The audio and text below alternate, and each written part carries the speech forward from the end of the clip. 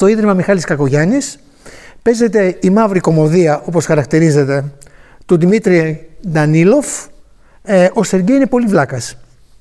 Σε σκηνοθεσία Ταμίλας Κουλίεβα. Ε, το έργο φαινομενικά είναι μια απλή υπόθεση, αλλά παράλογη ταυτόχρονα. Διστοπική. Είναι ένα πακέτο που του φέρνουν σε έναν προγραμματιστή τρει τρεις courier, αντί για ένας, τρεις, και αντί να το δώσουν και να φύγουν, κάθονται μία ώρα μαζί τους στο δωμάτιο. Πριν μπούμε όμως για το ίδιο το έργο, το οποίο είναι πάρα πολύ, είναι ανοιχτό σε ερμηνείες, ε, να πούμε ένα εντυπωσιακό, ιδιαίτερα για νέο κόσμο, χαρακτηριστικό της παράστασης, που είναι ότι τα τραγούδια της παράστασης τα έχει γράψει ο Λέξ. Ε, να πούμε λοιπόν, επειδή σε ένα θεατρικό έργο η μουσική είναι οργανικό κομμάτι του έργου, ε, γιατί επιλέχθηκε ο Λέξ, ε, πώς συνδέεται δηλαδή με το, με, το, με το ίδιο το έργο. Θα σας πει ο Πάνος που το ξέρει καλύτερα. Ε, βέβαια, ε, αυτό είναι απόφαση της Ταμίλα. Ε, αλλά εντάξει, όπως το συζητήσαμε. Όταν συζητούσαμε στην προετοιμασία της παράστασης με την ε, Ταμίλα, μου ανέφερε ότι ήθελα να προσεγγίσει τον Λέξ γιατί παρακολουθούσε όλο αυτό που συνέβαινε γύρω από αυτό το μουσικό. Ότι πώς έχει καταφέρει να επικοινωνήσει με τους νέους, οι οποίοι είναι και απαιτητικοί σε αυτό που ψάχνουν να ακούσουν. Ξέρεις, δεν, δεν τους ε, αφορά ακριβώς ε, η διαφήμιση ή το ένα ή το άλλο, αλλά ψάχνουν κάτι να συνδεθούν. Και πώς αυτός ο άνθρωπος μπόρεσε χωρίς. Καμία διαφήμιση. Καμία διαφήμιση να γεμίζει στάδια και από κάτω ο κόσμος να πάλεται με αυτούς τους τοίχου που εγώ τολμώ να την ονομάσω τη σύγχρονη ποίηση. Γιατί η ποίηση που γράφεται κάθε εποχή πρέπει να αντιπροσωπεύει και την περίοδο. Ενώ ότι και το πώς ζούμε, τις προσλαμβάνουσες και θεωρώ ότι πώς ο κόσμος συνδέονταν πάντα με την ποίηση, έτσι και τώρα ο κόσμος συνδέεται με αυτήν την πίεση. Οπότε η Ταμίλα, επειδή είναι ένα πολύ σύγχρονο έργο που αφορά ε, πολύ καθημερινούς δικούς μας ανθρώπους, ήθελε η μουσική να είναι αντίστοιχη και να, να περιγράφει βασικά όλο αυτό που ζούμε με, με τον τρόπο που κάνει ο Λέξ, που είναι φοβερά παρατηρητικός και μπορεί μέσα σε ένα στίχο να σου, ε, να σου δώσει συμπυκνωμένο όλο το νόημα, χωρίς να, ε, ε πώς να το πω, γεμίζοντας το νόημα. Τώρα μπορεί να έρθουν κάποια πολύ ωραία στίχοι. Ακούω το τάβλι των ανέργων, τις φωνές των παιδιών, τα καταπιεσμένα πλήθη των οικοκυριών. Έχω για θέα μια εκκλησία και τις φωνές των παιδιών. Ε, και ξέρει, τώρα ε, έχει και. Μου διαφεύγει αυτή τη στιγμή γιατί προσπαθώ να πιερωθώ και να θυμηθώ. Ένα παιδάκι μου, όλοι που ζούμε στις πολυκατοικίες, λέει ε, τυχή από χαρτί. Ε, εμένα μου έχει συμβεί Περι, Περιγράφει μια ναι, ναι, αλλά είναι ο τρόπος που το περιγράφει. παιδάκι μου ναι. μετρίζει λέξεις, έχει δώσει και, Τε, και αυτό που βι... Αυτό που νιώθεις ναι. όταν ζεις σε μια Άρα έχουμε να κάνουμε. Και στο ρυθμό, ρε παιδάκι μου, δεν είναι. Mm. Άρα έχουμε να κάνουμε ένα αντισυμβατικό καλλιτέχνη που στην πραγματικότητα επιβλήθηκε παρά το γεγονός ότι το είχαν κλείσει τις πόρτες όλα τα μνημεία. Δηλαδή τον αγνοούσαν και ιδιαίτερα στο, στο ραδιόφωνο ε, με αποτέλεσμα να κολλάει δηλαδή σε ένα όντως αντισυμβατικό έργο όπως είναι του Ντανίλο αυτό το έργο. Κοίτα, εγώ θα έλεγα ότι είναι ένας γνήσιος λαϊκός καλλιτέχνης. Δηλαδή για μένα αυτό σημαίνει λαϊκός καλλιτέχνης. Mm-hmm. Όπως είπες πολύ σωστά, είναι ένας κόσμος ο οποίος έχει χρηστεί ε, ε επιτυχημένος από τον ίδιο τον κόσμο. Χωρίς ναι, να ναι, υπάρχει ναι. από πίσω να, να τον προωθήσει ένα σύστημα, μια εταιρεία μεγάλη, δισκογραφική ή κάτι τέτοιο. Το marketing του είναι η αλήθεια. η οποία πιάνει ε, πάντα. Προφανώς οι στίχοι του συγκινούν ε, έναν ακροατή, οπότε. Ας έρθουμε τώρα πάλι στο, στην ουσία, στο έργο το ίδιο του ε, Ντανίλοφ. Ε, και αυτό που μου έκανε ε, εντύπωση. νομίζω και έχει ταιριάξει ουσιαστικά ο Λέξ με το έργο μας. Δηλαδή, και αν, αν δει κάποιος το έργο, ο Σεργέη και πολύ βλάκα, γιατί όλο διαδραματίζεται μέσα σε ένα διαμέρισμα, ε, ένα σύγχρονο διαμέρισμα ε, του Σεργέη. Ε, ουσιαστικά μεταφέρει ε, την αίσθηση που έχει αυτός ο άνθρωπος που μένει εκεί πέρα με την εισβολή αυτών των, των τριών courier που αυτή η εισβολή μπορεί κάποιος να την θεωρήσει ρεαλιστική ή να τη θεωρήσει μια φανταστική κατάσταση, υπόθεση. Γι' αυτό λέμε ότι είναι για μια κομμωδία λίγο του παραλόγου, λίγο α, δυστοπική όπως είπες, ε, που θα μπορούσε κάλλιστα να, θεωρηθεί ότι είναι ένα όνειρο. Είναι μια, ένας εφιάλτης του ιδιοκτήτη, του Σεργέη ή ξέρεις του χαρακτήρα του. Ε, αλλά νομίζω εκεί ταιριάζουν, εκεί κουμπώνουν οι στίχοι του, mm. του Λέξ. Ναι, ξέρεις, ε, και, και, ναι, Επιτρέψτε μου να πω κάτι, να θυμήθηκα, γιατί μου έρχονται από το τραγούδι του. Είναι, λέει σε ένα άλλο τραγούδι. Το κορίτσι μου έχει όνειρα και πλάνα. Δουλειά, δουλειά, δουλειά σαν τη Ριάννα. Το κορίτσι μου μου λέει να μην πετάω πάνω από τα σύννεφα. Εγώ της λέω να μην φοβάται τα αεροπλάνα. Και σε επόμενο τραγούδι του, το οποίο βγαίνει ακριβώς μετά το, τη φοβε, το φοβερό έγκλημα, θα το ονομάσω στα τέμπη, γράφει: Το κορίτσι μου δεν φοβάται τα αεροπλάνα πια. Τα τρένα της φέρνουν δάκρυα. Πώς αποφασίζει και να πάρει θέση, να μην είναι αόριστα και γενικά, αλλά να τοποθετηθεί με το δικό του τρόπο και να, ξέρεις, να επικοινωνήσει με την πραγματικότητα. Και αυτό, ας πούμε, ήταν κάτι που επίσης στην Ταμίλα την ενδιαφέρε πάρα πολύ. Η πραγματικότητα είναι εδώ πέρα. Δεν κάνουμε θέατρο εδώ πέρα και τα ομορφαίνουμε όλα και μιλάμε για κάτι γενικό. Όχι. Με το σήμερα μπορούμε να συνδεθούμε. Τι συμβαίνει σήμερα εκεί έξω, μπορούμε να μιλήσουμε για αυτό που συμβαίνει τώρα. Ναι, και αυτό είναι το ενδιαφέρον. Μια, δίνεις ωραία πάσα γιατί διάβαζα μία συνέντευξη ε, του Ντανίλοφ, στο οποίο λέει το εξής. Όταν γράφω, με ενδιαφέρει να μετατοπίσω την εστίαση από το άτομο σε αυτό που το περιβάλλει. Δηλαδή δεν τον ενδιαφέρει ο πρωταγωνιστής και ο χαρακτήρας των έργων λέει, αλλά αυτό που περιβάλλει είναι το γύρω-γύρω. Ε, σε, σε κάποια πράγματα και περιστάσεις που συνήθως δεν δίνουμε σημασία. Εξαιτίας αυτού οι χαρακτήρες μου βγαίνουν πολύ παθητικοί πρακτικά γιατί δένουν με τον κόσμο γύρω τους. Και αυτό είναι μια ωραία πάσα για να δούμε πώς δένει το πακέτο, η ερμηνεία αν θέλεις, του ίδιου του, του, του θεατρικού με το, γιατί ο καθένας το βλέπει τη δική του σκοπιά. Αυτό συμβαίνει και εδώ σε εμάς. Γιατί πολλές φορές πολλοί φίλοι που έχουν ακούσει τον τίτλο της παράστασης και μου λένε Ο Σεργέη είναι πολύ βλάκας. Και κάνουν το γνωστό λογοπαίγνιο. Μου λένε τελικά είναι βλάκας. Ο Σεργέη τι γίνεται πριν τη δουν την παράσταση.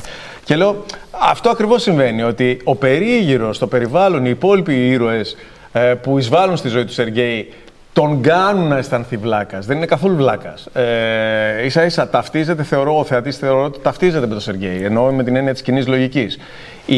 το περίγυρο παραβιάζει την κοινή λογική του Σεργέη και κατ' επέκταση του θεατή και τον κάνει, τον, τον κάνει να τον αντιμετωπίζει, μάλλον. Αυτή τη λέξη έψαχνα. Τον αντιμετωπίζει σαν βλάκα. Ενώ δεν, φυσικά προφανώς δεν είναι καθόλου βλάκας.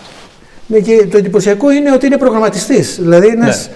άνθρωπος ο οποίος περιμένει τα πράγματα να εξελιχθούν με ένα πολύ συγκεκριμένο τρόπο.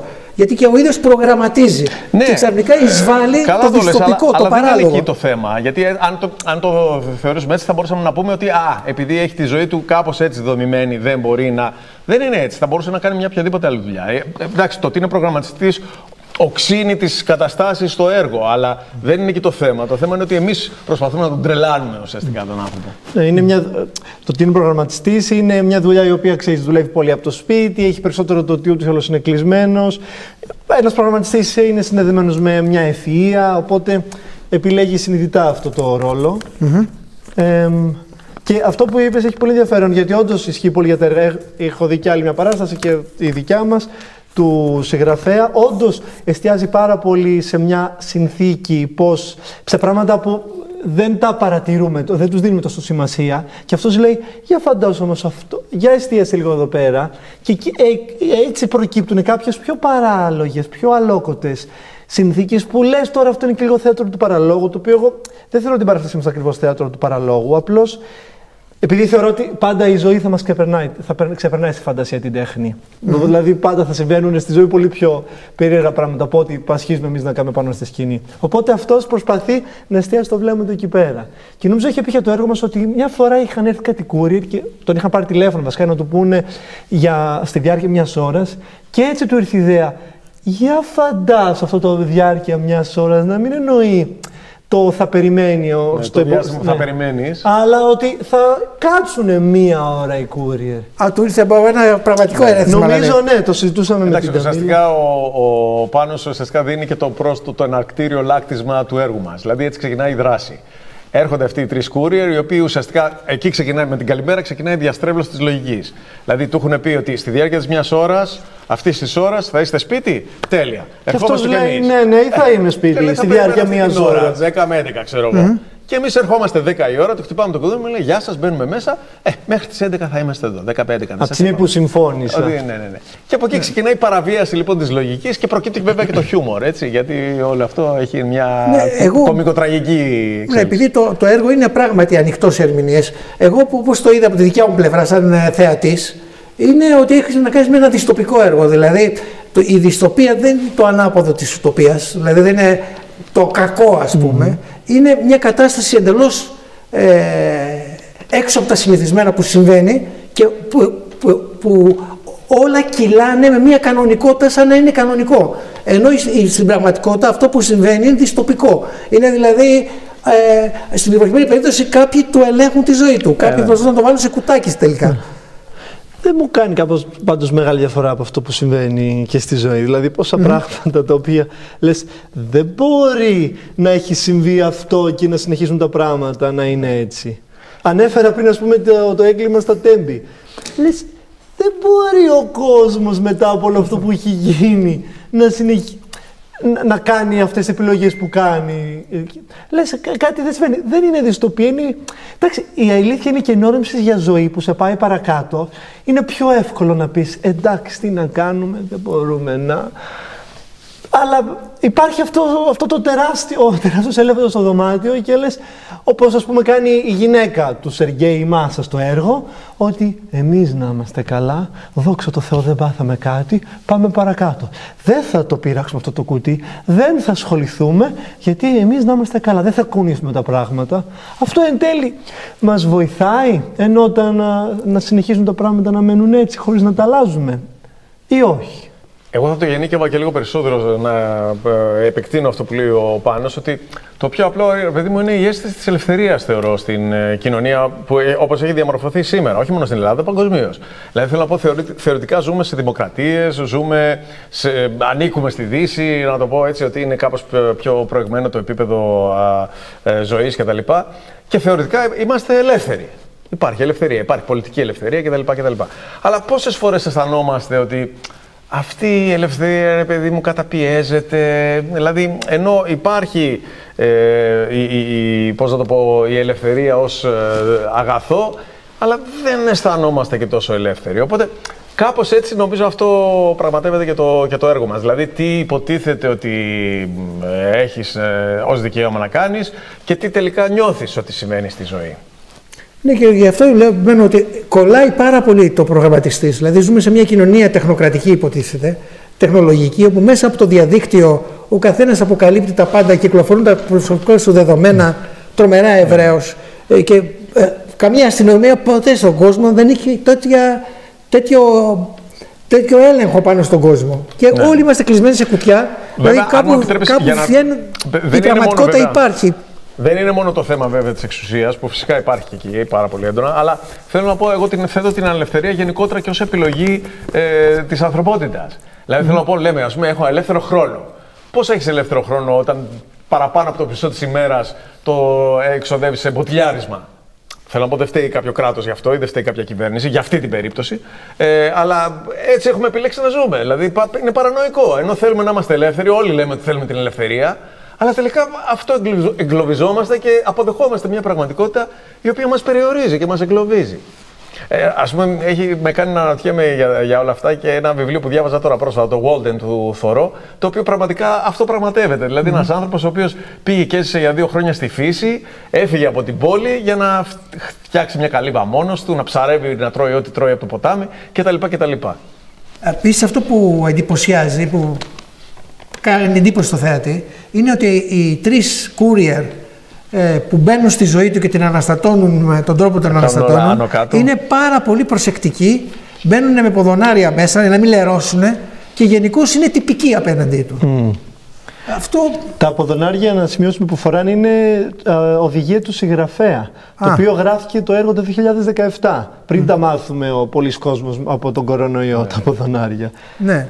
Ναι, ο συγγραφέας έχει προσέξει πάρα πολύ αυτούς τους τρεις χαρακτήρες να μην αφήνουν περιθώριο να τους τσακώσεις. Να μπορείς. Πέρα από τα ποδονάρια που δείχνει και λίγο το ότι δεν αφήνω και αποτύπωμα που λέει ο λόγος, έχει και με κάποια, ε, μπορεί να τοποθετηθούν πολύ παράλογα, ε, να έχουν απόψεις και ιδέες πολύ περίεργες. Ότι ένας, πελάτη, ένας πελάτης που πήγαινε και κάτσαν μαζί του, ε, πονούσε εδώ πέρα, νιώθαν ότι έχει σκολικοειδίτη και τον χειρουργήσανε. Ναι, ναι, του άνοιξαμε την κοιλιά. Ναι, ναι, ναι, ναι, Ωστόσο, ε, όταν, πάει, όταν πάει να... Αυτό δεν είναι κάπως...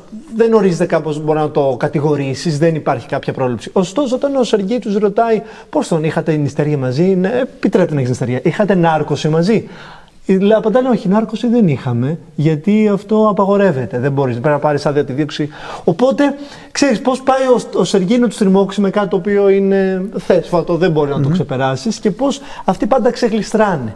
Με ένα παράλογο τρόπο. Με ένα, δηλαδή, κάνανε χείριση χωρίς νάρκωση. Πώς γίνεται αυτό; Ε, ουσιαστικά τον ξεκυλιάσαν τον άνθρωπο, δηλαδή. Ναι, ναι, ναι. Είναι όλα ξέρεις, τόσο στην εντέλεια προσεγμένα για να μην. Για να έχουν, για να φέρουν αυτόν τον κόσμο τον παράλογο, ότι εμείς είμαστε προσιλωμένοι στο να βοηθάμε και αυτό είναι το, το, το κουτί μας και αυτό έχει κάποια πολύ συγκεκριμένα στάδια. Πάμε, τελειώνουμε το σχολείο μας, πάμε στο στρατό μακριά στην Παραμεθόρο γιατί έτσι φροντίζει την πατρίδα, αυτό είναι σωστό, κάνουμε παιδιά, παντρευόμαστε και δουλεύουμε με αφοσίωση και πίστη στην εταιρεία μας. Ωραία, και αυτός ωραία. είναι ο σωστός δρόμος που έτσι πρέπει να κάνουμε όλοι. Εντάξει, είναι λίγο κομικοτραγικό. Δηλαδή, εμένα μου θυμίζει πολλές φορές, αν δούμε την πιο χιουμοριστική του πλευρά, λίγο τον, ε, τον ε, επιθεωρητή κλουζό. Δηλαδή, που μπαίνουμε όλοι πάρα πολύ προσεκτικά, κοιτάμε ένα αντικείμενο, το αφήνουμε εκεί, πέφτει, θρηματίζεται. Δηλαδή, ουσιαστικά μπαίνουμε με πολύ προσοχή και πολύ σεβασμό στο, στη ζωή του, αλλά ουσιαστικά τα διαλύουμε όλα. Ναι, Να πούμε βέβαια ότι η παράσταση βγάζει πολύ γέλιο. ότι ναι, είναι ναι, βέβαια. πολύ ευχάριστη να τη δει κανείς πέρα από όλα τα άλλα. Ε, Τελειώνοντας, να πούμε και για τους άλλους συντελεστές της παράστασης και ποιες ώρες και μέρες παίζετε. Α ξεκινήσουμε από την κυρία, τη μοναδική κυρία που έχουμε στη, στο θείασό μας. Την Αλίκη Κακολήρη, Είναι η παρτενέρ του α, Σεργέη. παίζει τη γυναίκα μου τη Μάσα. Εγώ έχω άλλους δύο εξαιρετικούς παρτενέρ ε, που πλαισιώνουμε, κάνουμε τα τρία courier. Α, ο Γρηγόρης Καραντινάκης και ο Σαμουήλ Ακίνολα Και στην παράσταση παίζει ο Παναγιώτης Μπουγιούρης. και ο Πάνος Ζυγούρης. Παίζουμε κάθε Δευτέρα και Τρίτη στο Ίδρυμα Κακογιάννης, 9 Εννιά η η ώρα. Ώρα. Α, και αυτή τη στιγμή σκεφτόμαστε πότε θα μπορέσουμε να ανέβουμε και στη Θεσσαλονίκη κάποια στιγμή. Ελπίζω να το καταφέρουμε σύντομα. Σκηνοθεσία τα Μίλα Κουλίεβα. Όπως είπαμε, χρησιμοποιούμε τραγούδια του Lex και πρωτότυπη μουσική έχει γράψει ο Ντόφ του G. Ο μουσικός με τον οποίο συνεργάζεται. Ο γνωστός Κάτι εξοχή. Ο- hip hopper. ναι, ναι. Α, ο, ο Ντόφ είναι μουσικός, ναι. ναι, ναι. Βασικός όμως στη σκηνή hip hop είναι από ότι παραγωγός. Ναι, ναι, ναι, ναι. Είναι βασικός. Οκ. Ευχαριστούμε πάρα πολύ. Καλή συνέχεια Και και, εμείς.